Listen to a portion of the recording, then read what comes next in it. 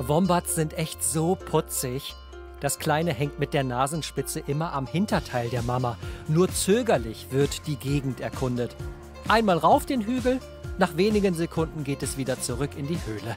Erde, Sträucher, Futter, es gibt viel zu entdecken.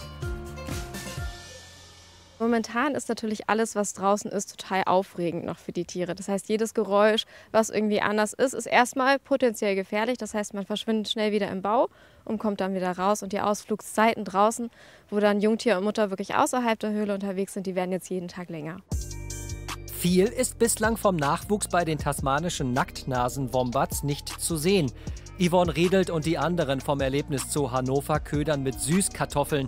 Dann zeigt sich Wombat-Mutter Maya, wenn sie hungrig ist.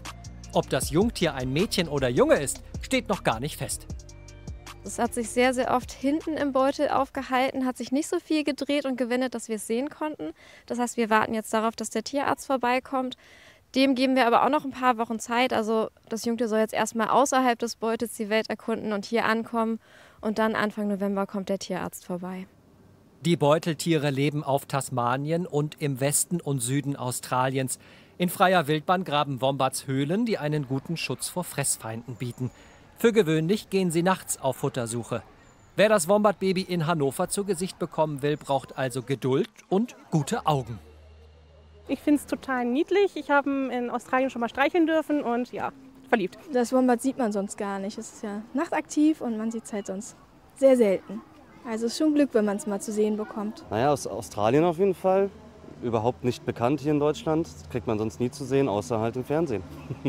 Deswegen würde ich hierher kommen in Hannover Zoo und mir das anschauen. Wombat-Mutter Maya hat das mittlerweile dritte Jungtier zur Welt gebracht. Die Vorgängerbabys Cody und Cooper waren schon tierische Stars im Zoo. Und das neue Jungtier ist ebenfalls wombastisch.